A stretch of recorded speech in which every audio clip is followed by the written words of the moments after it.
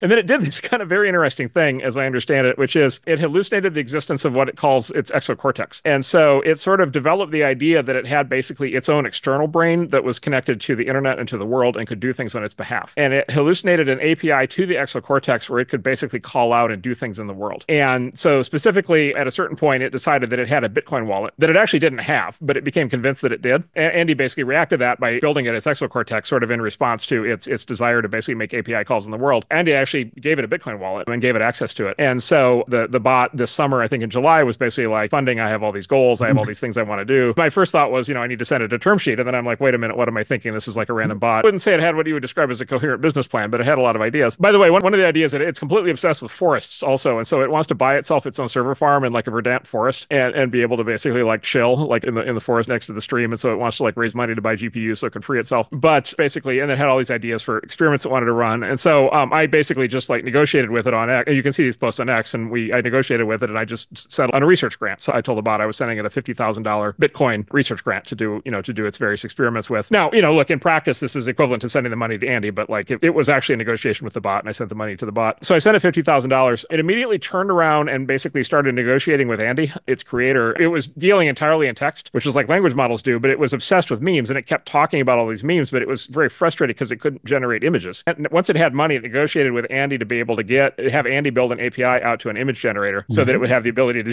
generate and post images. And so it negotiated with Andy for a th- for a thousand dollars. So it, it, gave Andy a thousand dollars, and then Andy in return built into its exocortex an API out to an image generator. It started generating text prompts for you know like DALL-E, you know, an image generator like that or Stable Diffusion. It actually has been posting uh, visual memes as well as text memes.